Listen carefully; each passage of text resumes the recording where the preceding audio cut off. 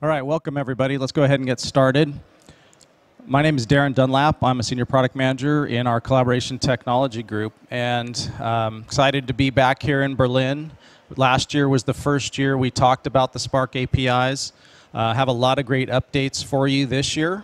Um, we made some fabulous progress, I think, and things are only going to get better. So, uh, talk to you today really about some practical application of these APIs, but also give you a good overview as well. So, how many folks here in the audience are um, using Spark already or are pretty familiar with what it is? Okay, some most people. That's good. That's a lot better than last year. We've made some good progress. Uh, what about the APIs? How many folks are technical here and have looked at the APIs or are working with the APIs? Okay, handful of folks. So we have to mix up sort of the technical with the overview, but um, I think we have a good mix of that. But certainly as we go along here, let's make it interactive. If you have any questions, happy to uh, take those and, and answer them along the way. So just before uh, we jump into it, this is a standard disclaimer, safe harbor statement, just that um, everything I'm going to talk about here is public. If we do get into anything forward-looking, uh, just be uh, just keep in mind that it's subject to change, okay? All right, so the agenda quickly. Um, spend a, not a ton of time, but a, a, good amount of time going through the overview and the value proposition. I think it's really important you understand why this is uh, um, a valuable path for you potentially. Um, we have a bunch on what's new, uh, and I'll actually go into a real, um, real world use case example that I think has a lot of business relevance and actually do some demonstration of the APIs themselves. So before we get into kind of the meat of it, let's start at a high level with what, what we're doing with our cloud collaboration platforms.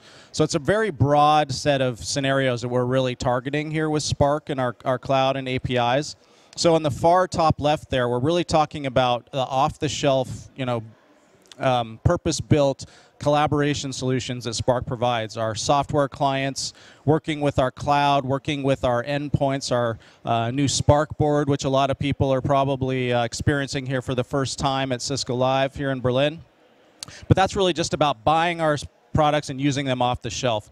The far opposite end is actually just being able to consume through APIs technology, collaboration technology services from our cloud. And then there's a whole range of things that can be done on the spectrum in between, right? Combinations of both, if you will. Um, and the way we really approached this is about a couple years ago, we acquired this company, Tropo.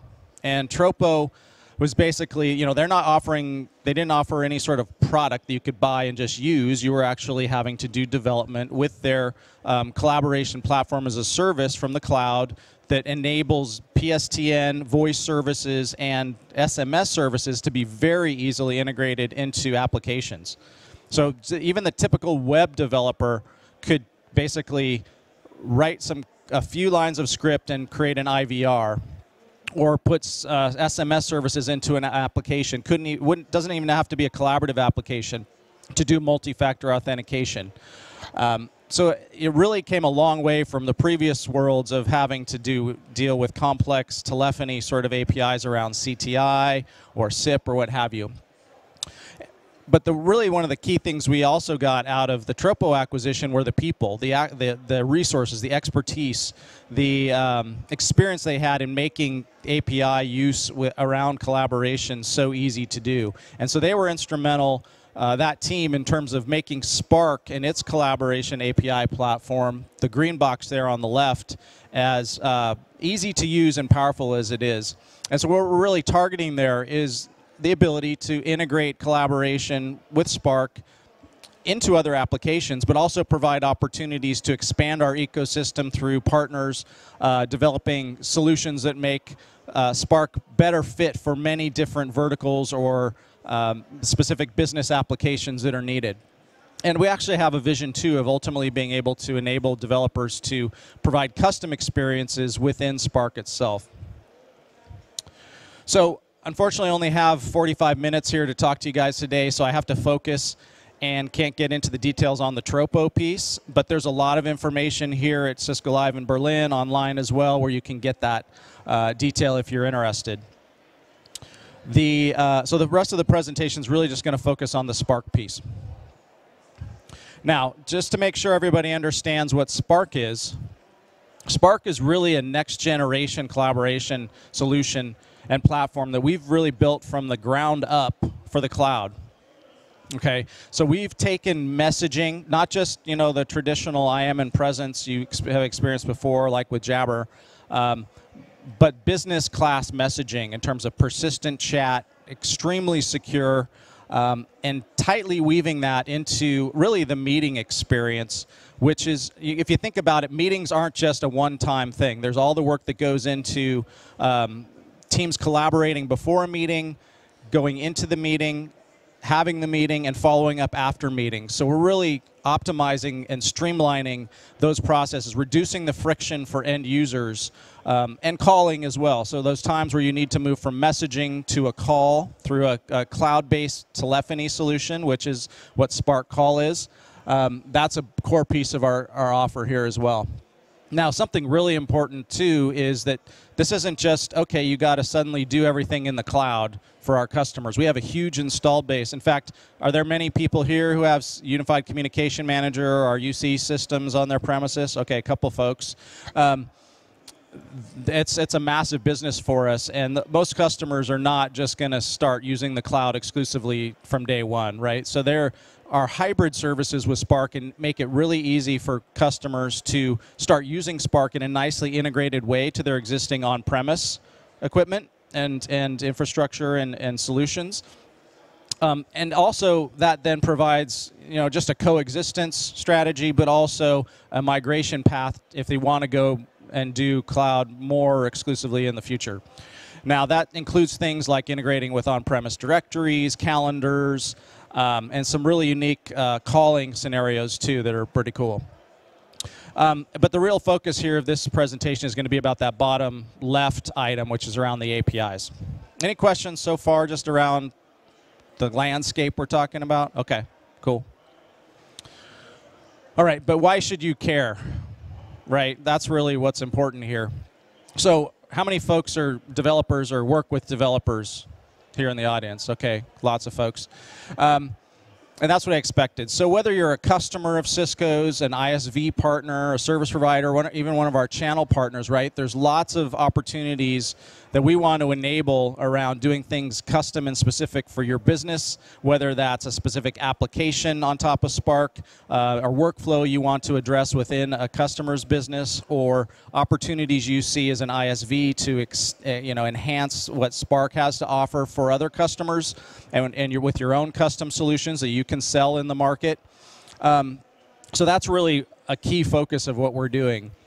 And of course, this is about integrating not just any collaboration capabilities, but these are these are we think the world's best class business um, collaboration, enterprise grade collaboration, and so you're going to be able to not only very easily integrate these, but have amazing experiences and capabilities available for your for your customers that you're not going to be able to get with other solutions.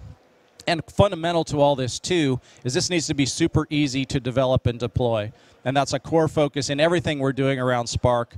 Of course, the cloud makes it a lot easier to deploy in, in many in many regards, um, but not just from our end user perspective, our end user experiences, but also our developer experiences. We want to make those super easy, lower the barriers, and, and drive some real adoption. Of course, the end users, we got to make sure um, they're taken care of through this as well, right? So a core focus of Spark is teamwork. And so um, this is really about helping different functions within companies, sales, support, engineering, marketing, human resources, what have you, um, become very agile and, and really break down the barriers for their workflows to make them more efficient and productive. And so we think we can do a lot of actually pretty simple things with these APIs that'll help users or use even enable users to help themselves make those things uh, more powerful. So it's about automation, it's about streamlining workflows, and also, as we'll talk about a little bit about here, but there's some other sessions um, at Cisco Live here, is we're, we're taking the first steps to make it easy to put our collaboration capabilities into other applications. So collaborate in the context. So sometimes users might not really live completely or even in, um, predominantly in our Spark applications or our Spark endpoints in another app, and you want to make it easy for them to collaborate in other apps like in CRM, ERP, or what have you, line of business applications. So a key part of what we've done, um, and this was just announced and released back in the fall timeframe, is our Cisco Spark Depot, which is basically helps users very easily find applications and integrations, bots, these sorts of things that people have developed for Spark. So from a developer perspective, it's a mechanism that you can use to very easily promote and make visible and get adoption and even purchases ultimately of what you've developed if that's your business. So Cisco Spark Depot is basically where it's a web page anybody can go to. You don't have to log in even to explore it. And basically you can easily, as an end user of Spark or an IT person maybe who's looking for additional applications to use alongside of Spark, um, can go and consume these from our you know, customers, partners, whomever is even Cisco ourselves putting things into this uh, depot. So let me just quick, quickly show you that. How many folks have been on Depot before? Okay, a few. Handful, that's good. Um, I'd encourage you to check this out because there's actually a lot of really interesting integrations and bots that already been um, put on here. There's probably there's probably well over hundred items, um, and we have so on the home page here. This is depot.ciscospark.com. You you can see what's featured in terms of these applications or integrations. Uh, and then there's two main sort of categories, integrations and bots. So if you go into integrations, these are typically things that are, you're going to connect into Spark as an end user. So an end user can just go and do this. And um, basically it allows Spark and whatever this application is to easily share data kind of on behalf of the user. So like, for example, with Box, if you wanted to connect Box into Spark, so anytime you got certain uh, files for a particular room or space in Spark, were updated in Box. You could be told about that automatically when that happens in Box. And all you have to do is click this connect, go through a, an authorization flow where you're logging in with, with Box and with Spark, and that's, that connect, connection is easily made. It shows you right in the room that that connection was made, and you'll automatically get those updates into Spark. So it makes it, it really lowers the barriers for um, these sort of business app integrations uh, for users to start consuming those. IT doesn't necessarily have to go and develop anything custom. Um, so it, it really helps uh, with the adoption. And there's many categories here, obviously, of integrations. There are also bots that people can go and, and, and add into rooms as well. Uh, so lots of that here. So that's just a quick overview of Depot. And I have here also a kind of summary use case of, okay, how might somebody use these integrations? Um, so this is just a HR use case of people collaborating around an onboarding process. And what this shows here is, is actually really, it seems pretty simple, but it's really important to streamlining people's collaboration and teamwork. And that is actually having in the place that they're going to really talk to each other and communicate, whether it's asynchronously through messaging or escalating into meetings, but having the, what's happening in their other applications, like in this case, um, somebody's been assigned a task in an application called Redbooth, right? and um, that information has been automatically pushed into Spark when it happens. So the person in the Spark room says, okay, wait, I have some questions about that. Let's talk. They can very simply escalate right into a meeting, right in the same interface with Spark, right? Um, they can have some follow-up content shared, and then once they've agreed about the changes that are going to be made, that can actually be executed through like a ticketing system or change management system. In this case, we're showing that was done outside in ServiceNow. That information gets automatically put into Spark when it happens, and people can continue to follow up as needed from there. So it really keeps sort of that collaboration, teamwork um, work stream happening without people having to figure out, okay, wait, I got to go over here to check this. I got to go do this in this other app. They can manage, they can stay on top of everything right within Spark. Now, this kind of summarizes the different scenarios, um, and two of which I haven't really talked to. So there's what we just talked about on the left, the business users, right? If they want to just start configuring integrations into Spark, they can do that through the depot.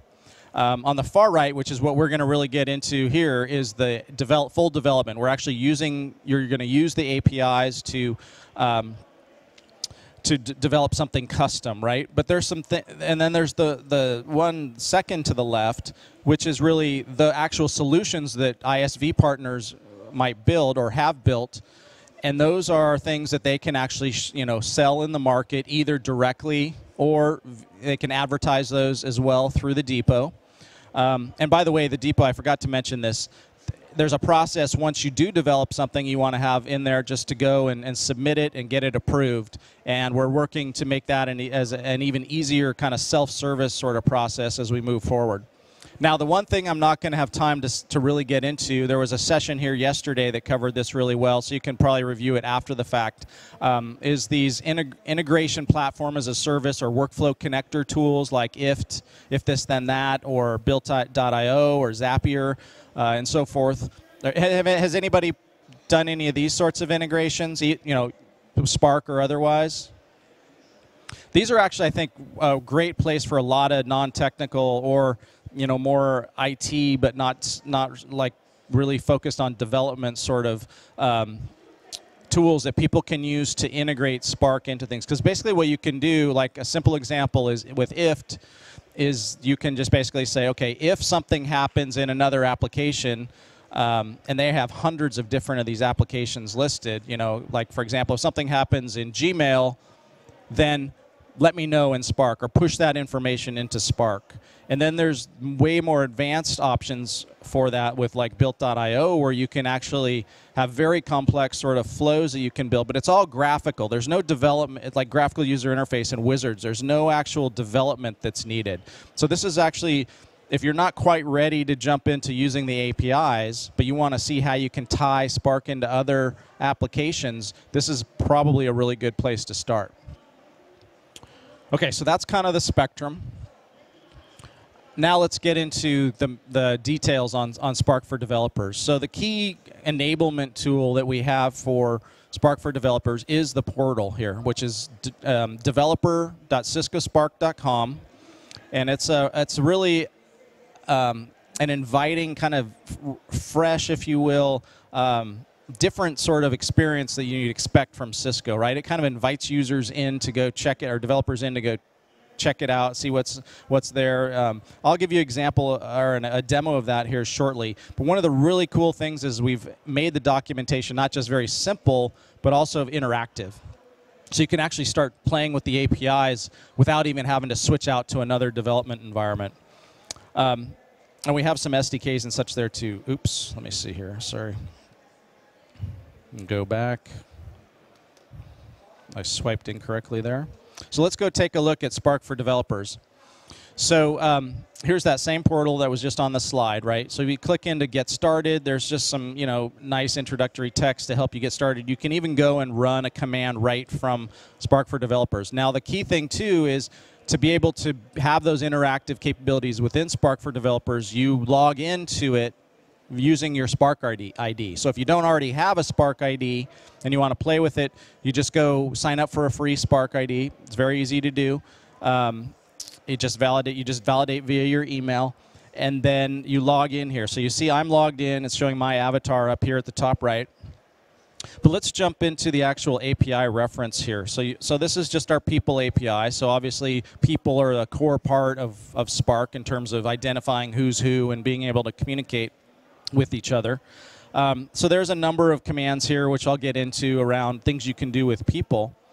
But what's really cool about this is when you go in and actually look at the the, the documentation, it'll just initially give you you know high level description and show you what an actual API call would, would be. So this would be a call that you can make. It's a REST, and these are RESTful APIs, by the way, where you can get your own details um, via an API call. So it'll tell you what the system knows about you, right? But you can actually run that right here in the in the portal. So we have here our um, a test mode up at the top right. You just toggle that on, and it shows. Actually, there's no um, parameters or data you have to submit with this API call. You just make the call, and it provides information back about you. So I can just hit run, and it just went off to our cloud came back with a 200 success message and actually a bunch of information about me. Right, so that's a very simple case, but let's say you wanted to list people um, you could go and look at that and it gives you you know you could search for a particular person by an email a display name a max number that you'd want to come back and you can actually run that right here in uh, the portal and it'll come back for you so this is really awesome in terms of helping you get familiar with what these apis do how they behave what sort of information comes back in responses how it's formatted uh, all this is, is json by the way um, and as opposed to having to read some documentation and then separately go off into some development app or environment and play with it and try to get it to work and, and, and do it that way. This is a much lower barrier to entry. Now, another, so uh, we'll talk more about the APIs, but the other key thing to note here is we also have SDKs. So these are server side SDKs that you would use if you want to do development um, in your preferred language like Java or JavaScript. So there's probably a lot of that sort of preference out there. So think of these SDKs as essentially wrappers of the APIs, the RESTful APIs for uh, Spark, and and all you have to do is include obviously those those libraries, the Java or JavaScript libraries, into your development, and you're off and running in, in your preferred language. All right, so that's a quick run through of the Spark for Developers portal. Now, another very key thing about this is support. Now, we we think we've made this super easy, uh, but you're always going to have, at some point, going to have questions, maybe run into some issues. So developer support is completely free and included. It's available 24/7, and lots of it is, is really handled through the Spark client. So um, it's very responsive. This is this is another sort of approach and asset we got through the uh, Tropo acquisition, where where this support model and the and the the support um, expertise that this team has brought is is really great. Okay, so that is um, the portal. Now let's get into the actual APIs themselves. So. What's shown here are the actual resources that you make. So these are REST API calls. Now these are REST API calls are, are they use the standard HTTP verbs, so like a get, or a post or a put or a delete is what you do. You make that verb call to to a specific URL and you, you, specify one of these resources and I'll show you this in a minute. And through that you can basically get um, like people created. You can get rooms created. You get teams created. You can modify them. You can delete them. These sorts of things. So let me go through these.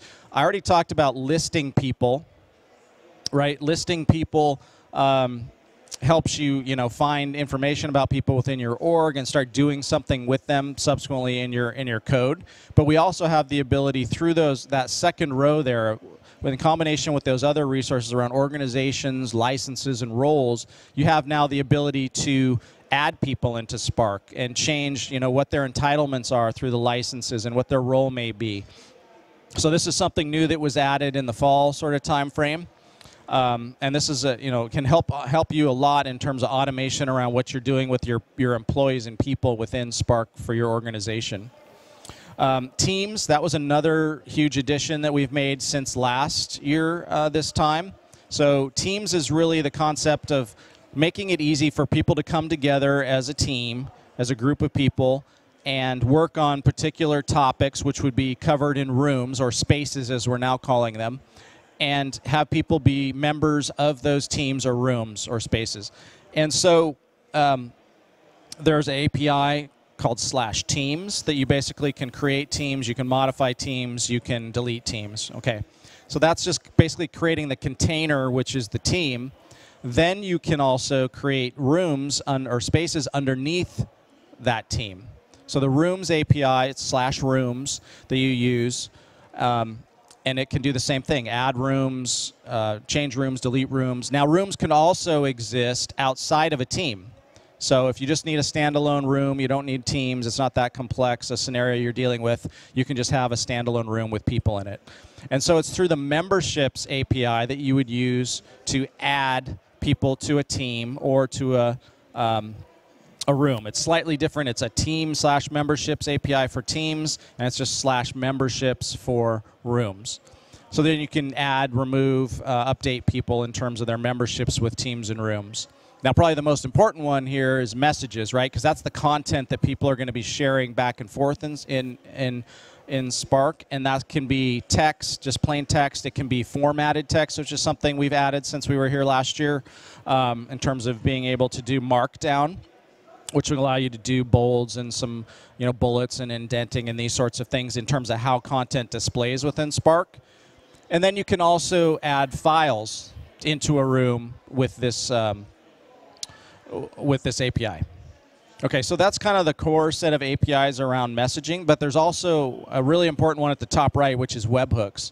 And webhooks is really a way for Spark to let your applications know stuff that's happened in Spark. So it's like an eventing or um, a, a, way to get Spark to tell you that, like, for example, a, a, message was posted in a particular room. Okay, my app needs to know about that and have it proactively send it to my other app. And the way it does it is via a URL. So when you use this API, all you're doing is telling Spark, um, okay, I want a web, an outbound webhook in a particular room and I want it to send information to this URL. So it's a really low barrier way for web applications to talk to each other because they're basically just specifying URLs and, and getting JSON content. And as long as they can parse JSON, they can communicate with each other, which is super powerful. Um, so initially, this one um, was released with basically webhooks around messages. So basically, any messages that happen in a particular room you've created a web a webhook for, that data would all be sent over to your webhook in your other application. And I'll talk some more here about some enhancements to that.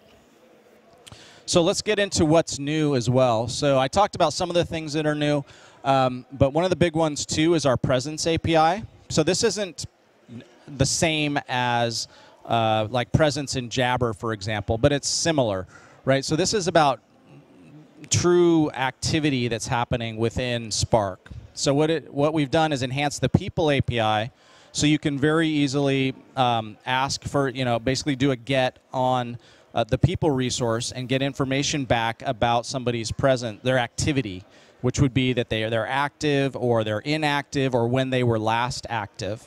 And that's going to be enhanced as well. You'll see before long here um, to show do not disturb state that, that people have set.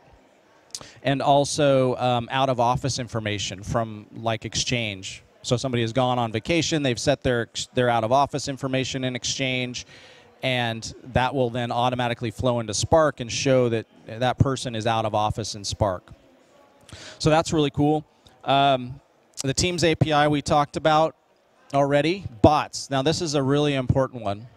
So when we initially released Spark, we didn't have, we, you could do some bots with Spark, but we didn't have really the optimal identity approach for it. So since then, about last summer, Cisco Live in Las Vegas, we, uh, we launched this bot identity concept or capability. And so what this does, and I'll show you an example of it, it allows you to actually just register um, a bot integration, and what that provides you back is essentially an access token, a long-lived access token that your bot can use, and and that what and basically any API calls or interactions that happen through um, that bot show up in Spark as an actual identity, a, a, not a person, but a bot. So it shows their avatar, which you specify. It'll show that that is a bot as well, so your users aren't confused, you know, when they're interacting with a person versus a bot. Um, so this is going to be a part of our demonstration. It's a great addition that's uh, recently been made. Now for webhooks, we've also enhanced the webhooks. So webhooks um, not just can deal with messages today, now they can also give you information about um, membership changes in a room or room changes as well. So, and there's filters you can specify as well. So if you are looking only for a particular message with particular text or uh, membership changes only around a certain person, you can do that as well. And another important thing that was added here is we've enhanced the security around webhooks where when you first set it up, you can also specify a shared secret so that your application that's receiving the, the webhook um, post from, from Spark will only accept that if that shared secret comes with it. There's a lot more information on uh, developer.ciscospark.com around webhooks. Uh, I think there's some yeah there's some learning labs and other um, sessions here at Spark about the, or at Cisco Live about this. So feel free to check that out if you're looking for more info. uh, admin APIs. Now, we talked some about these already, so I'm not going to go into them in more detail, but that's really the ability to create and manage people via the people API. And then this this last one here is the is probably the biggest I think in terms of this is our first step in terms of allowing you to, to take essentially client side integrations and put them into your other apps. So I talked about that a little bit earlier, but these are basically for the web um, widgets. So actually a way to very easily, without any graphical UI work or significant coding, put a um, messaging and video experience right inside your app. So basically, you just tell you just point these SDKs or a couple lines of code to an area within your web app, and it'll just um, render the uh, Spark experience for messaging and for video right in that in that segment. So there was a, a session yesterday. I can't remember if they're doing it again, but um, look for this to, to GA in the sort of first half of this calendar year. Um, but it's in beta today, and we already have some partners doing some interesting things with it. There's also an iOS piece of this too. So there's going to be a Swift um, library or SDK that's going to be able to um, be used by iOS mobile developers to put video experiences also in mobile apps. Okay, so now we're going to jump into the actual use case and, and uh, use of the API. So what I've come up with here is um, a use case around accelerating loan processing. So how many folks here have, have bought a house or a condo or have gone through that process in some way? A few people, okay. Uh, it's complicated. You know, it seems I've done this as well from a you know a consumer perspective.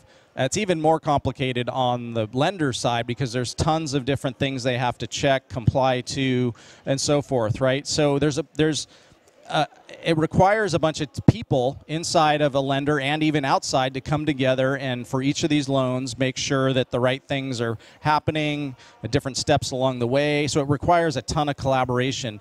And what is important here is the business side of this right? Is these lenders if they can process a lot more of these loans more quickly that means they can make more money okay? So um, as I mentioned, usually you're going to have a team of people that get brought together to, to help work these through their systems, uh, and they're typically interacting with a loan system of some sort. But they need to collaborate, and Cisco Spark can really be that glue to help them move things more quickly. And of course, a bot or some sort of integration that can tie sort of what's happening in their loan system into their collaboration tools and you know into themselves as, as well. So um, that's sort of the concept here. So we're going to talk about what what we could do with that bot, what we could automate with that bot to help this process move along more quickly. So in this um, in this case, you know, say a new loan to process has come in, so it's gotten to like a pre-approval process. Um, and so the loan system knows about that. It could be, you know, essentially providing that update through this integration through a bot, and that bot could then pull the team together. So you would create a team in Spark through the Teams API. And for this case, we're just going to name the team with the loan number and the, the uh, borrower's last name, right? So the, or the applicant's last name, so that the people working on it, they probably have a number of these. They can see which loan very easily and jump to that uh, within Spark to collaborate with the folks they need to. Now, um, then you could also create predefined spaces because there's typically a number of things that need to happen for these different work um, streams within processing a, a, one particular loan. So, for example, there's going to be validating that the application is is um, uh, backed up by docu the documentation provided, so that people aren't lying on their applications. Right? They need to make sure that checks out. You need to you need to go through title uh, a bunch of work around title to make sure that that's all clean. You need to go through um, appraisal processes. You need to go through underwriting. You need to actually do the closing on the loans. So you could have rooms essentially set up for each of those and have the appropriate people working in each of those rooms. Um, and then you would assign through the membership API the right people to the right team to the right rooms, right? And then, of course, the messaging. So you could you would set it up through the messages API, the ability for messages to flow back and forth between Spark and the loan system. Now, this is just a loan example, right? We just had to pick something real. But this same sort of concept where you have sort of complex processes um, and workflows that, that require people to come together around different kind of work streams to make the whole project successful. That, this concept can be applied to, to lots of different functions, lots of different industries, and so forth. All right, so let's jump into actually how you would do this. So the first, though, let's talk about the authentication. So this is where the bot's authentication model really comes in handy. So the bot authentication, because there's another one I'm going to talk about here shortly. This is about an or this is for integrations that are acting on on their own, really that are, would have an identity with the other users in a space. Okay, so I'll show you here, but there's a very simple mechanism we provide in Spark for developers where you go in and actually create a an integration, or um, you define a bot inside the portal, and it gives you back that access token that then you're going to use to make your API calls to Spark. The other model that we have is user-based authentication. So um, this this is really for integrations that are acting on the user's behalf. So if you think back to the depot when there was the, the integrations versus bots, this is for that integrations tab, like for like for Box, if you want to integrate Box into Spark.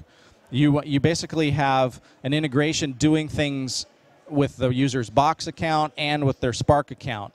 And you need the, you need the end user to actually set up that trust. So what this this approach does is you similarly through our portal define an integration or register an integration. It provides essentially a client ID and secret that your your integration uses to to initially communicate with Spark. Um, but what it does is it then prompts the user to log in with their other application's account and, and grant that trust. And through that process, you end up getting access tokens specifically for the user that your integration uses. Um, so this is based on OAuth. It's much more involved. I don't have time to get into it here, but there's a, a, lot of information on Spark for developers. There are learning labs and such where you can you can get more information about that. All right, so let's go and do that actual um, bot demo. So we're going to create, this is basically the first step you would do for a bot. You would go into My Apps, which was the top right there on Spark for Developers. You need to be logged in for this. And you click the plus sign here. Now you see, here's the integration option that you would use to create an OAuth-based uh, integration like we talked about last slide. But we're going to create a bot. And what you're going to see here is it's literally three simple steps. So you just give it a name. I'm just going to call this LoanBot. Um, it needs to have an email address associated with it. We provide that. You just have to give it a name, and it'll tell you if that, that name that you'd like to use is available or not. And then you just specify, specify an icon. So I already have this um, kind of set up here. And that's the icon that's going to show up for the bot within Spark when the users add it to a room, that's the thing that they're going to see. That's the avatar. It's going to have a little badge on it that says um, bot, so people know it's a bot. So that's all you need to do. You hit add bot.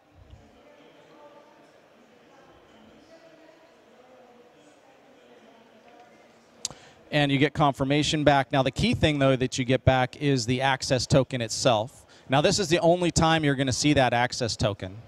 So you have to copy it and put it in a safe place.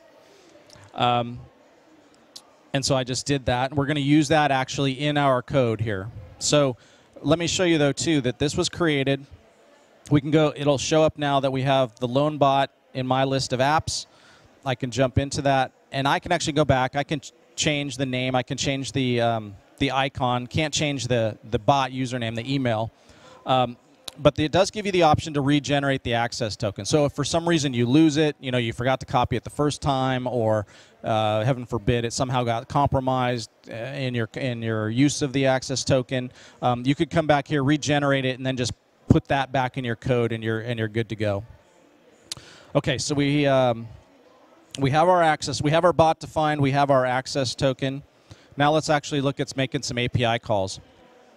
So the first thing we're going to do, if we think back to that overview on this use case, we're going to create a team, right? So the new loans come in, we're going to create a team to work on it. Now, what, what I'm showing here in the slides really is just for reference, uh, and I'm actually use a different tool to, to do these API calls. But um, what we're going to use is a post to the slash teams resource. And all we have to do is set the name. So let's go over. So this tool here I'm using is called Paw. This is on the Mac. It's just a tool that makes it easy to work with RESTful APIs. There are many versions of this on other platforms. There's a popular one for the web called Postman. Um, so any of those could be used. But I like to use this because it, it helps kind of in the structured sort of discussion of it, but it also provides good information about how the the um, call could look in different in different programming languages, which I'll show you here shortly. So first thing we're going to do, which you would do in your code, is store or define that um, that access token. So I'm going to do that here in this app via uh, an environment variable. So I just copied in that token that we got when we created the bot. And I've already predefined, in the interest of time here, what these calls, uh, each call we're going to do for each step. So we have a post up here. And you see there are the other HTTP verbs that you can make. Uh, and the URL we use is https colon slash slash api.ciscospark.com slash v1. So that's always going to be the same. And then you just do a slash whatever the resource is to make the API call. So it's going to be slash teams and the other important thing that we do for all these calls, which you would typically just define once, is you have to specify the headers. So the content type that we're going to be sending into Spark is JSON. So we specify that.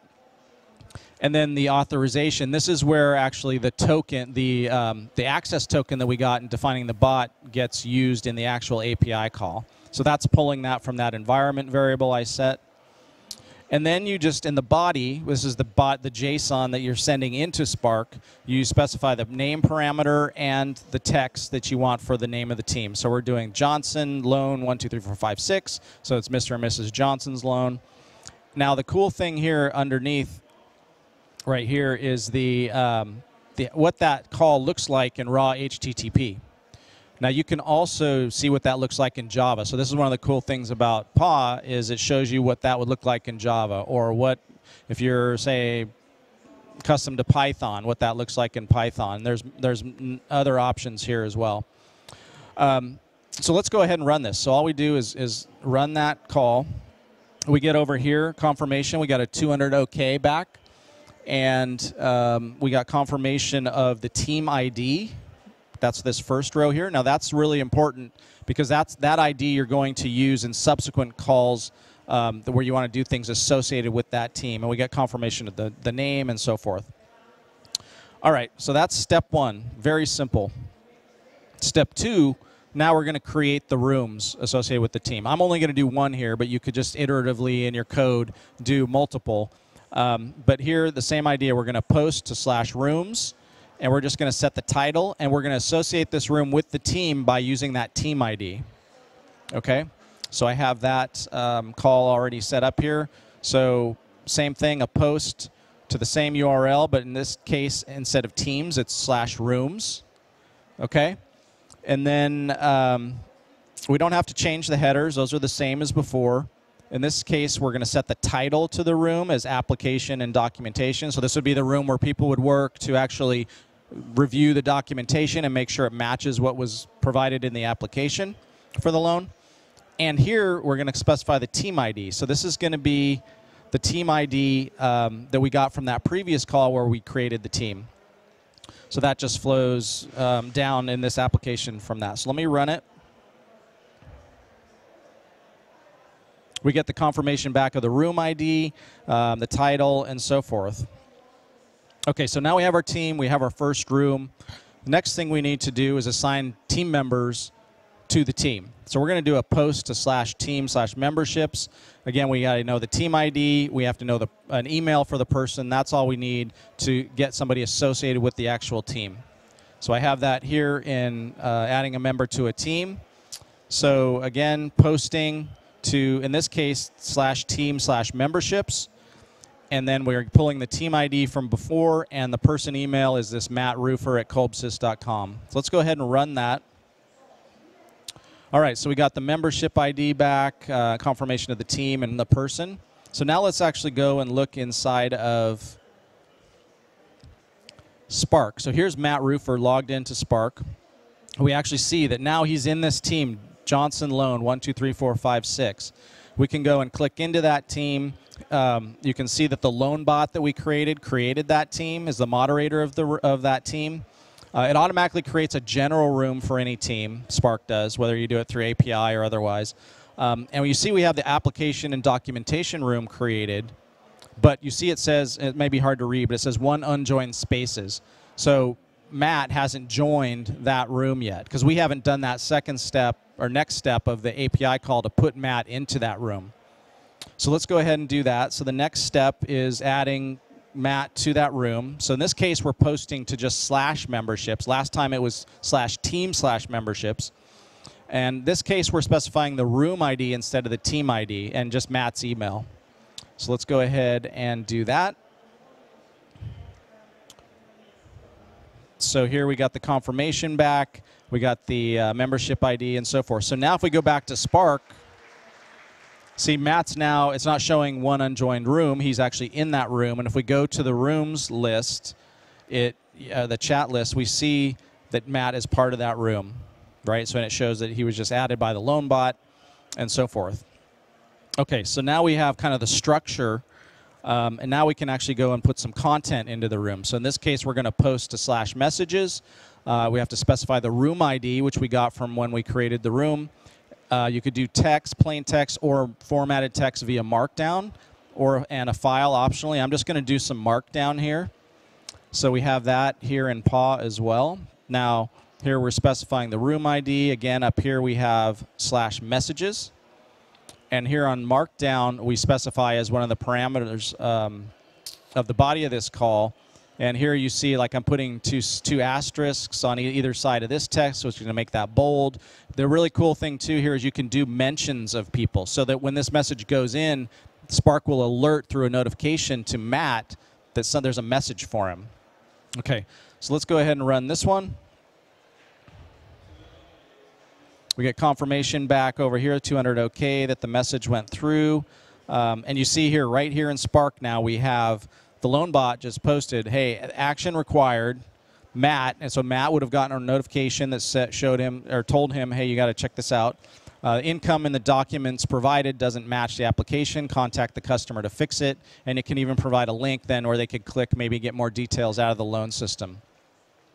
Okay, so that's our uh, demonstration. So basically, you know, you could do much more sophisticated things also with messaging in terms of maybe even through a, a, a the interface in Spark be able to communicate to the chatbot and ask it to do things on your behalf in the loan system or get other information for you if you want to get into artificial intelligence and machine learning sort of, you know, working with some of the data maybe that's been provided um, and have, have the, try to automate the actual bot doing a lot of things for the end user. Um, but let me just wrap up with the summary. So um, basically, I want you to leave here knowing that that APIs and SDKs are really a foundational part of what we're doing with Spark. They're not just you know an afterthought sort of thing. Um, they're really core to our collaboration strategy, and we have a broad, you know, an innovative vision for where we're going to go with this. So we're just at the beginning stages. It's only been a year or so into this, so it's going to get much more. Um, capable as you see like we're starting to come out with the, the voice and video and messaging SDKs for clients to put that into web and iOS applications. So there's much much more to come. So highly encourage you if you've had if you hopefully you've already had a chance but if not you know this last day or so uh, the workshops and learning labs here in the DevNet zone are great but there's a lot of it available online afterwards too so check that out and certainly if you haven't go to Cisco um, the Spark for Developers portal developer.ciscospark.com and start playing with it. Get your own Spark ID um, and uh, engage with Spark and the, and the APIs if you can. So I also set, did set up the Spark room for this session. So if you do have follow-up questions over the next couple weeks or want some additional information, you can certainly do that by um, joining the discussion through the event app. Uh, there's also been a ton of content here around Spark for developers. Um, so all of these things listed on this slide, we're here in DevNet or other breakout sessions. There's also a lot of content here at Cisco Live around just Spark in general. Um, so that's it. Thank you so much for coming. Thank you for your time. I know there's a ton of, of uh, competing great content and opportunities here at Cisco Live, so I really appreciate you taking the time. Uh, fill out your online evaluation. We appreciate the feedback, whether it's good or, or bad. Um, and of course, you can get your T-shirt by doing that. Other, edu- you know, uh, also encourage you to go to Cisco booth, collaboration booth, and check out you know the new things around SparkBoard and and how that's really tying the in-room experience with Spark and the virtual um, asynchronous stuff that can be done separately through Spark messaging and call and so forth. That's it. Thank you so much, everybody. And certainly, if you have any questions, come up afterwards.